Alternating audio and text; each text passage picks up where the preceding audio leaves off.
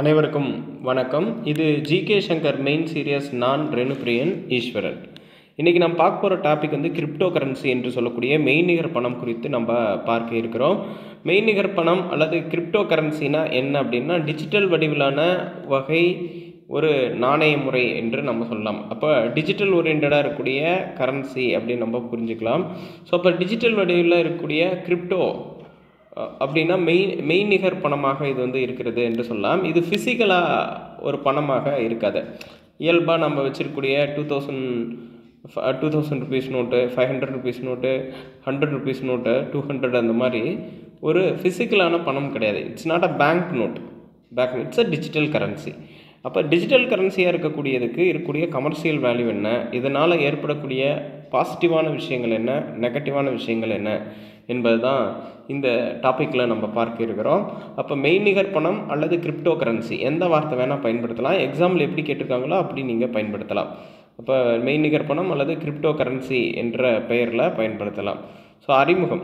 மெய்நிகர் பணம் என்பது கிரிப்டோ கரன்சி என்று அழைக்கப்படும் டிஜிட்டல் வடிவிலான கடினமயமாக்கப்பட்ட நாணயமாகும். அப்போ டிஜிட்டல் வடிவிலான டிஜிட்டலைஸ்டு கம்ப்யூட்டரைஸ்டு கரன்சி என்று இதை நாம் குறிப்பிட்டு சொல்லலாம். மெய்நிகர் பணம் ஒரு வகையில் கிரிப்டோ கரன்சி என்று அழைக்கப்படுகிறது. டிஜிட்டல் வடிவிலான கணினிமயமாக்கப்பட்ட ஒரு நாணயமாகும்.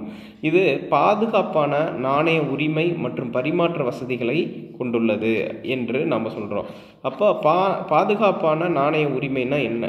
Owner of the particular crypto currency ஒரு கிரிப்டோ கரன்சியோடைய ஓனர்ஷிப் ஒரு நம்பகத்தன்மை வாய்ந்த ஓனர்ஷிப் வச்சுருக்கிறது. அது மட்டும் இல்லாமல் டிரான்சாக்ஷன் ஃபெசிலிட்டிஸ் வந்து எளிமையாக வைத்திருக்கிறது என்று குறிப்பிடலாம்.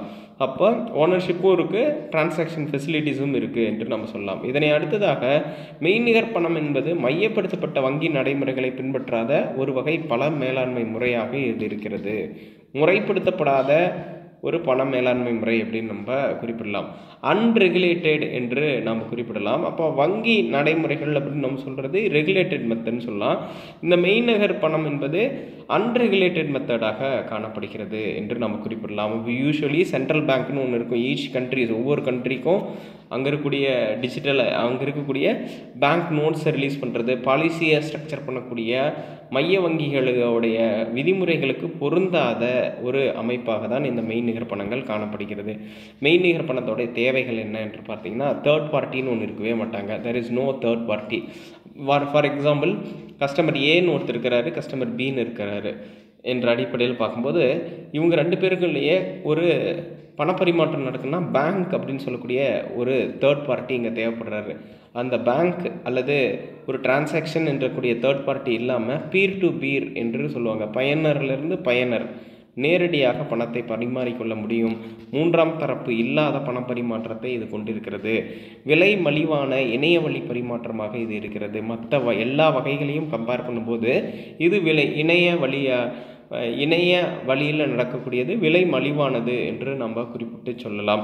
பணப்பரிமாற்றம் மிகவும் பாதுகாப்பானதாகவும் இருக்கிறது. இதோடைய பிளாக் செயின் டெக்னாலஜி யூசேஜஸ் வந்து இதற்கு மிகுந்த பாதுகாப்பை வழங்குகிறது என்பதையும் குறிப்பிடலாம். மெய்நிகர் பணத்தின் உரிமையாளருக்கு தனித்துவமான கடவுச்சொல் வழங்கப்படும் கீ அப்படின்னு நம்ம சொல்லுவோம். சரிங்களா?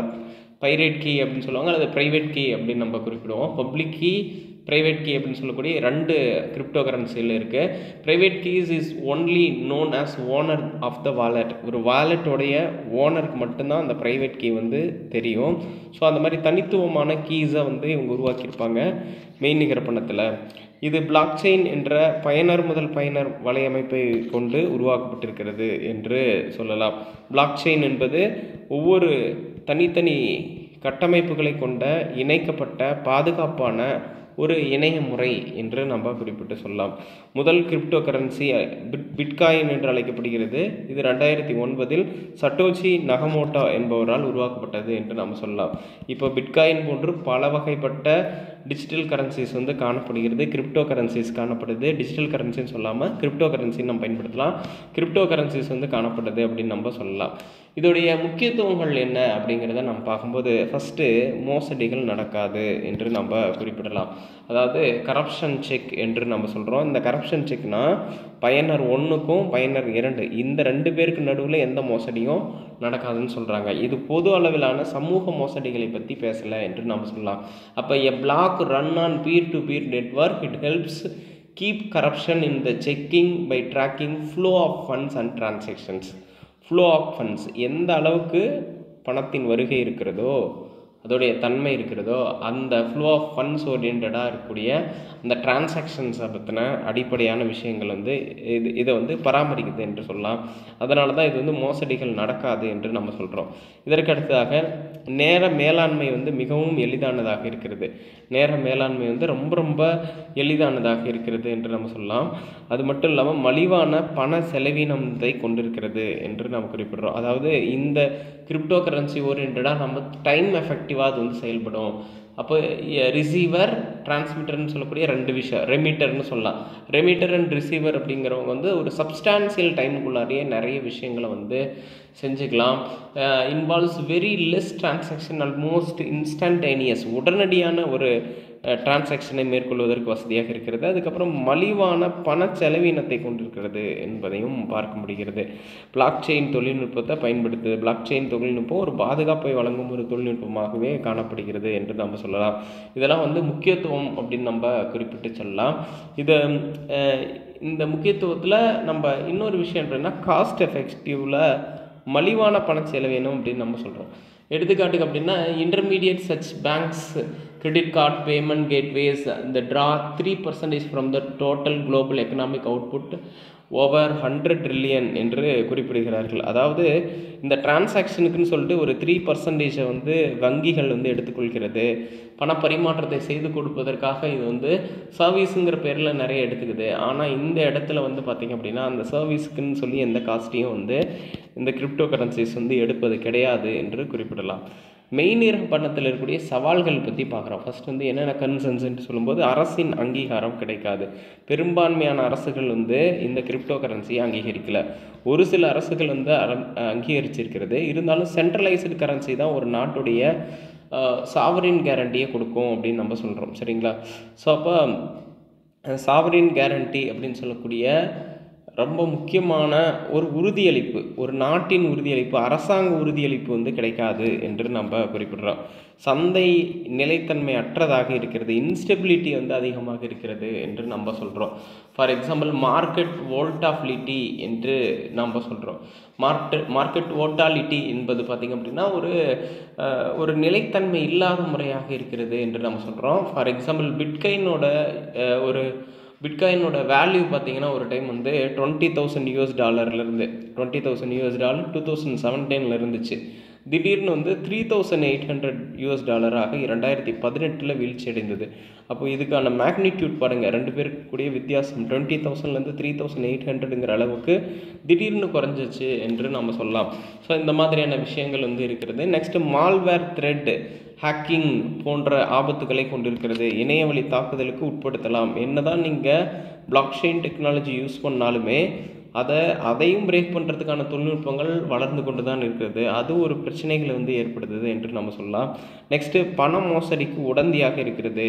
அப்போ வெவ்வேறு நாடுகளில் நடக்கூடிய தீவிரவாதமாக இருக்கட்டும் பண மோசடியாக இருக்கட்டும் ஒரு ஒரு முறையற்ற வகையில் சம்பாதித்த பணத்தை சேகரிக்கிறதுக்காக இருக்கட்டும் அதுக்கு உடந்தையாக இந்த தொழில்நுட்பம் வந்து பயன்படுகிறது. இது வந்து ஒழுங்குமுறைக்கு உட்பட்டது கிடையாது.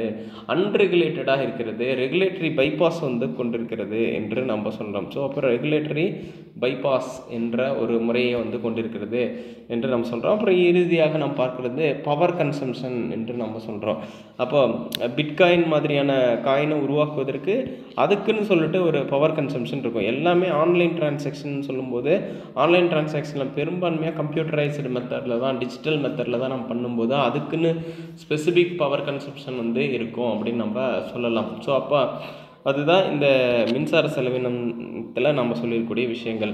இதற்கு அடுத்தாக நாம் பார்க்கக்கூடியது இந்த விதிமீறல்கள். விதிமீறல்கள் என்னென்ன விதிமீறல்கள்?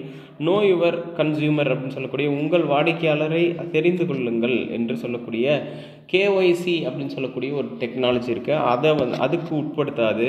அதுக்கப்புறம் ப பயங்கரவாதத்திற்கு நிதி அளிக்கக்கூடிய பணியை வந்து இந்த பிட்காயின் மூலம் செய்யலாம். அதை பிட்காயின் அல்லது கிரிப்டோ கரன்சி எந்த வகையிலானோ அது வந்து அந்த ஆபத்து இருக்கிறது. பயங்கரவாதத்திற்கு எளிமையாக நிதியளிக்கக்கூடிய ஒரு முறையை வந்து இது வச்சிருக்கிறது. பண மோசடி தடுப்பு சட்டம் ரெண்டாயிரத்தி ரெண்டு அடிப்படையில் சொல்லியிருக்கக்கூடிய வழிமுறைகளை இந்த கிரிப்டோ கரன்சிகள் வந்து பின்பற்றவில்லை என்று நாம் சொல்லலாம். ஸோ இந்த மாதிரி பல்வேறு பிரச்சனைகளை வந்து கொண்டிருக்கிறது. அது மட்டும் இல்லாமல் foreign exchange regulatory management act FEMA ஆக்ட்னு நம்ம சொல்லுவோம். ஃபாரின் எக்ஸ்சேஞ்ச் மேனேஜ்மெண்ட் ஆக்ட் அப்படின்னு சொல்லுவாங்க. அந்நிய செலாவணி மேலாண்மை சட்டத்துக்கும் இது வந்து பொருந்தாமல் இருக்கிறது என்று நம்ம சொல்லலாம்.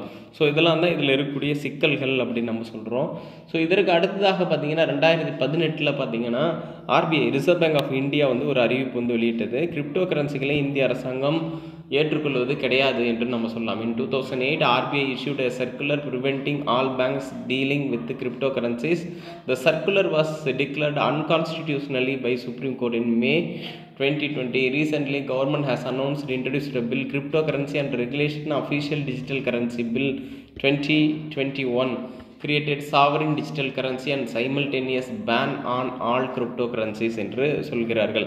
அதாவது இந்தியா முழுவதும் இருக்கக்கூடிய அனைத்து வகையான கிரிப்டோ கரன்சிகளை வந்து தடை செய்வதற்காக ஒரு புதிய ஒழுங்குமுறை சட்டத்தை இந்திய அரசு கொண்டு வருவதற்கான வாய்ப்புகள் இருக்கிறது. அது நடைமுறைக்கு வந்த பிறகு இதில் இந்த இதில் இருக்கக்கூடிய குறைபாடுகள் வந்து சரி செய்யப்படும் அப்படின்னு நம்ம சொல்லலாம்.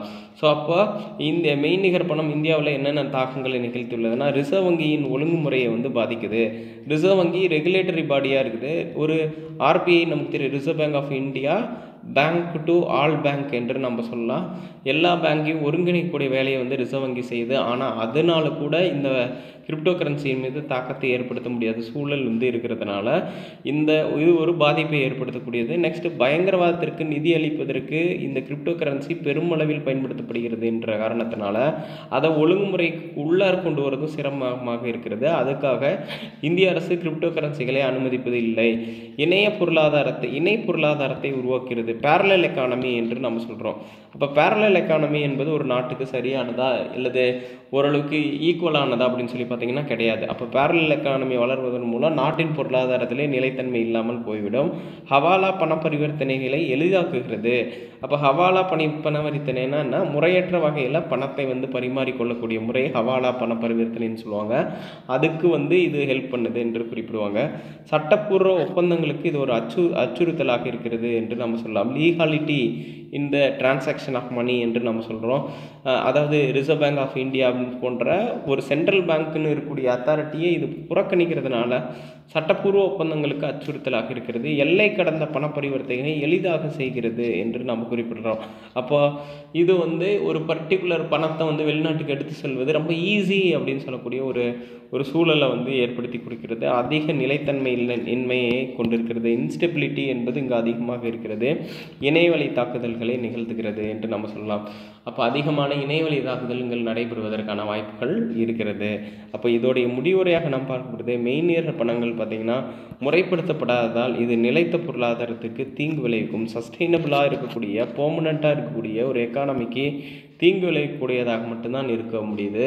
அப்போ இந்த கிரிப்டோ கரன்சியை அரசு ரெகுலேட்டரி சப்ஸ்டான்சஸ்குள்ளார எடுத்துகிட்டு வரும் பட்சத்தில் வேணால் இது வந்து ஹெல்ப்ஃபுல்லாக இருக்குமோ ஒழிய மற்றபடி பார்த்திங்கன்னா பொருளாதாரத்துக்கு தீங்கை விளைவிக்கக்கூடிய அமைப் அமைப்பு அமைப்பாக தான் இது செயல்படுகிறது என்று நம்ம குறிப்பிட்டு சொல்லலாம்.